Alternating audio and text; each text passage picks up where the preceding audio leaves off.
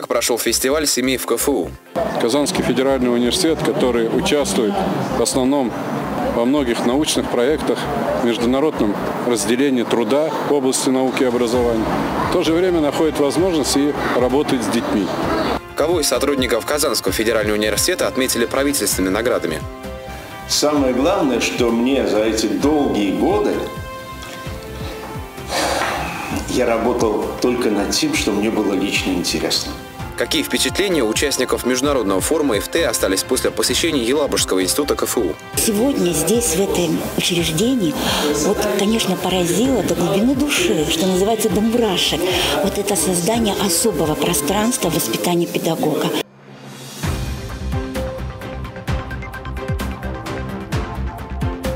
Всем привет! В эфире «UniverNews», а в студии Илья Андреев.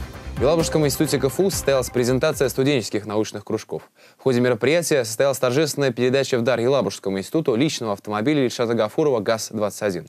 В Елабужском институте КФУ на данный момент работают 19 научных кружков. Отметим, что в этом году по распоряжению ректора Ильшата Гафурова в Казанском федеральном университете был взят курс на популяризацию научных кружков и разработку нового формата воспитательной работы в данном направлении. Я считаю, что любой человек, конечно же, он э, должен уметь делать что-то собственными руками. Да? И э, Техфак как раз готовит таких людей. Он готовит будущих учителей труда и мастеров производственного обучения, которые придут в колледжи. Это тоже очень важно. 31 мая выпускники 11 класса лицея Лобачевского и IT-лицея Казанского университета сдавали ЕГЭ. В лицее номер 78 форматора IT-лицеисты сдавали химию. Экзамен длился 3,5 часа. Результаты будут известны примерно через неделю. По словам учеников, обстановка не была нервозной, все прошло достаточно спокойно. Тем не менее, на самом ЕГЭ встретились довольно-таки неприятные, так скажем, задания, и которые потребовали немало усилий. Я думаю, как раз-таки подготовка именно в IT-лице, она дала возможность так хотя бы попробовать успешно сдать экзамены. В Международный день защиты детей 1 июня в Музее Казанского федерального университета пройдет акция для семей сотрудников «Проведи первый день лета в музеях университета». Со всеми подробностями программы мероприятий можно ознакомиться на сайте КФУ.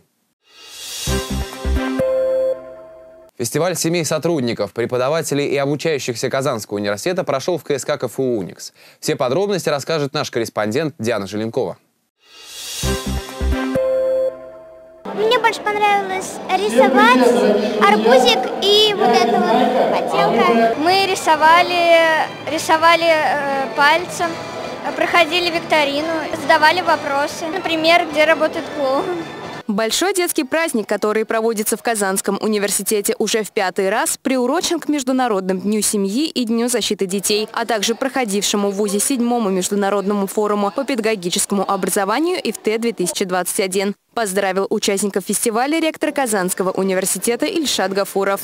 Казанский федеральный университет, который участвует в основном во многих научных проектах, международном разделении труда в области науки и образования, то же время находит возможность и работать с детьми. Это наша миссия. Мы должны воспитывать здоровое будущее поколение. И по сути, эту работу мы начинаем со школьной с уровня детского садика, собственных детей. Отметим, что за несколько месяцев до фестиваля в Казанском университете стартовало сразу несколько семейных конкурсов на лучшие фотографии, поделки, рисунки, а также конкурс талантов и интеллектуальная игра. Поэтому на самом фестивале состоялось награждение самых активных участников. В торжественной церемонии приняла участие заместитель министра по делам молодежи Республики Татарстан Алла Кондратьева. Когда человек а, видит, что его семья его поддерживает в его непростом деле по обучению, или наоборот, если вы учитесь еще, то это на самом деле придает очень много сил. Ну а то, что федеральный вуз делает акцент на поддержке этих семей, это особенно приятно. Мы получили приз за третье место номинации «Самая лучшая семья» или «Самая активная», наверное. «Самая активная семья». Я пришел со своими детьми. Это Фарида и Нияс. А, жена, к сожалению, на работе, не смогла к нам присоединиться.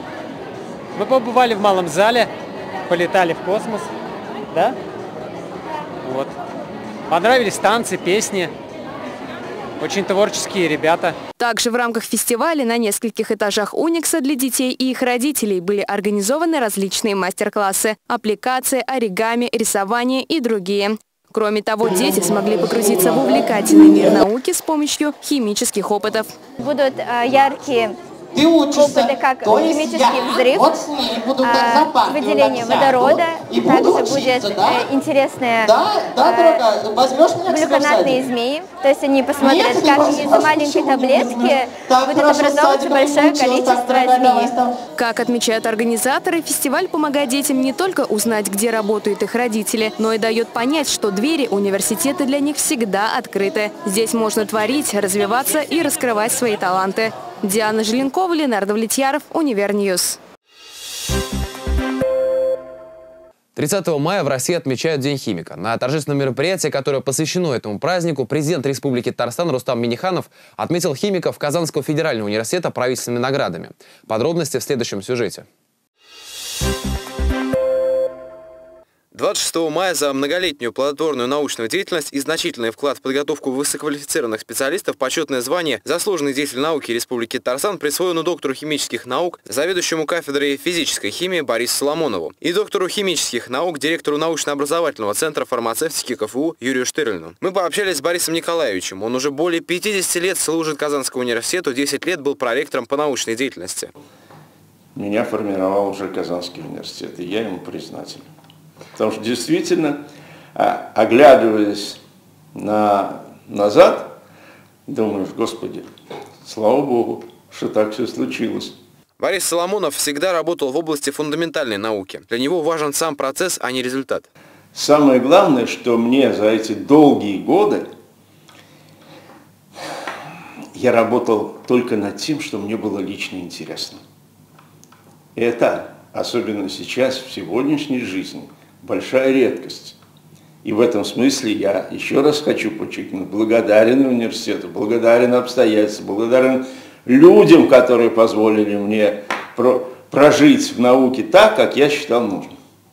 Главное, что, как отметил Борис Соломонов, нужно сделать настоящему химику, это получить фундаментальное образование. Когда ты фундаментально образован, ты можешь решать любые задачи. Отметим, что 26 мая правительственными наградами были также отмечены ведущий научный сотрудник научно-исследовательской лаборатории, перспективные углеродные наноматериалы Айрат Земиев и доцент кафедры органической химии Альмира Курбангалиева. В номинации «Ученые», «Ученые-производственники», «Рационализаторы производства». А старший научный сотрудник лаборатории сорбционных каталитических процессов Августина Борецкая и ведущий инженер лаборатории сорбционных и каталитических аналитических процессов Артем Ласкин в номинации «Будущие отрасли». Илья Андреев, Виолетта Басова, UniverNews. В эти выходные участники международного форума IFTE посетили Елабужский институт Казанского университета. Елизавета Никитина расскажет, как все прошло. Знакомство с университетским комплексом гости начали с Дома научной коллаборации имени Камиля Валиева, где участники форума смогли оценить современную материально-техническую базу Центра дополнительного образования и узнали о реализуемых программах. Следующей точкой маршрута стало главное здание Елабужского института. В этом здании первоначально жили, учились, ели, спали, молились 200 воспитанниц. Далее участники форума посетили музей книги, научно-читальный зал и студии цифрового образования, научно-учебной лаборатории, зал суда, учебной аудитории, Центр китайской культуры также стали частью экскурсионного маршрута. О страницах истории вуза и исследовательской деятельности присутствующие узнали в Музее истории и Музее археологии. Я под огромным впечатлением. Э, дело в том, что я уже была в вашем институте, в 2018 году. И вот буквально за эти 2-3 года это такие преобразования, я не могу даже словами передать. Также делегация форума посетила университетскую школу, уникальную площадку педагогической практики и научных исследований, пополнившую университетский комплекс в 2020 учебном году. Директор Елабужского института Елена Мирзон рассказала о реализуемой модели обучения и показала гостям инфраструктуру учебного заведения. Сегодня здесь, в этом учреждении, вот, конечно, поразило до глубины души, что называется до мурашек, вот это создание особого пространства воспитания педагога. Елизавета Никитина, Айдар Нурмиев, UniverNews. На этом все. В студии был Илья Андреев. Сюжеты из выпуска ты сможешь найти в наших социальных сетях, а также на сайте телеканала. До новых встреч!